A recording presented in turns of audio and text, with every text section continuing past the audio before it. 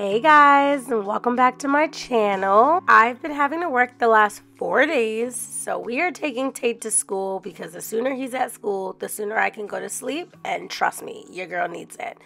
So, a little backstory Tate goes with his dad on the weekends, and for consistency purpose with his schedule, I try and work the days he's with his dad so the other days can be focused on helping him stick to his normal weekly routine of school, sleeping in his own bed, etc. He only goes to school two days a week, and I try to line my last day of work up to being his first day of school for the week. It doesn't always work that way, but I try. It gives me a chance to reset and have some time to myself instead of hopping from one caregiver role to the other. One thing I've noticed about us caregivers is we love to give. I mean, it's in the name, right? Caregiver. Let's actually break this word down.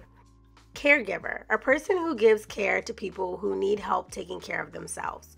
Google goes on to say this includes children, elderly, patients with chronic illness, those that are disabled, etc.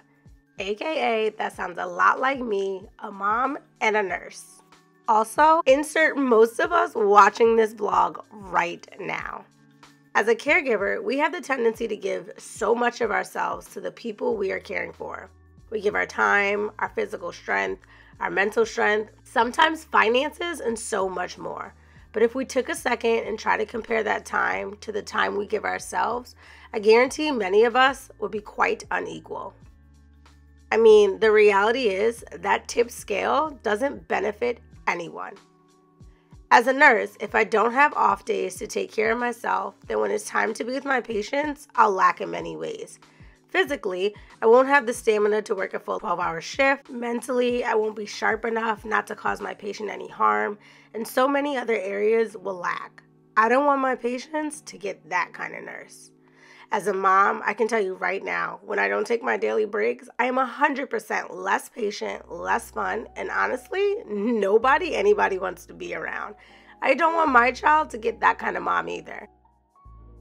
It's important to me the people in my life always experience the best version of me. And let's be honest, they don't always, but I try my hardest. And on the days they don't get the best of me, I can 100% connect it to some sort of lack of care on my part lack of sleep, lack of food, or lack of mental rest. We all know what they say, right? You can't pour from an empty cup. So here's some ways that I use my off days to truly refill my cup. Let's start with a good breakfast. Breakfast is my favorite meal of the day, and I have it literally no matter what time I wake up 1 p.m., 2 p.m., 10 a.m. I mean, who can resist a good waffle or French toast? When I have a meal upon waking up, I can literally feel the difference from the days I don't. I'm less sluggish and tired, and overall, I'm mentally sharper and can focus on tasks longer. A second way I refill my cup is by trying to have a clean space. Now, emphasis on the word try because my house is already so full, we're bursting at the seams. But with back to back work days and being gone half the week, things tend to get out of place.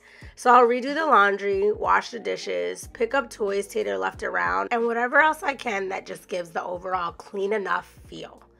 Before we move on to the next tip, here's a little super tip.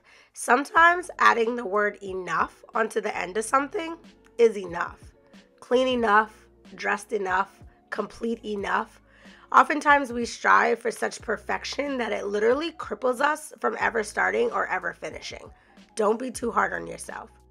A final way I refill my cup is by getting dressed. This is fairly new for me, like within the last week, but I've noticed that when I don't get dressed, I get a lot less done. Whether it's sweats and a t shirt, and trust me, that does not always include a bra, but anything that's not my pajamas makes me feel a lot more focused for the day. It also keeps me out of bed longer. I mean, if my pajamas are on, I will literally hop in and out of bed three to four times a day. As a caregiver, it's super easy to forget your place in the midst of the madness. I mean, that's why we're so good at what we do. We're selfless. But I want us to be careful that we're not too selfless, that we give too much and don't keep any of us for ourselves. Carrie-Anne Moss, the Canadian actress most known for her series in Matrix, once said, Self care is so much more than a beauty regimen or an external thing you do. It has to start within your heart to know what you need to navigate your life. So today I ask you the question Do you know what you need to navigate your life? Thanks for watching, guys. See you next time. Hello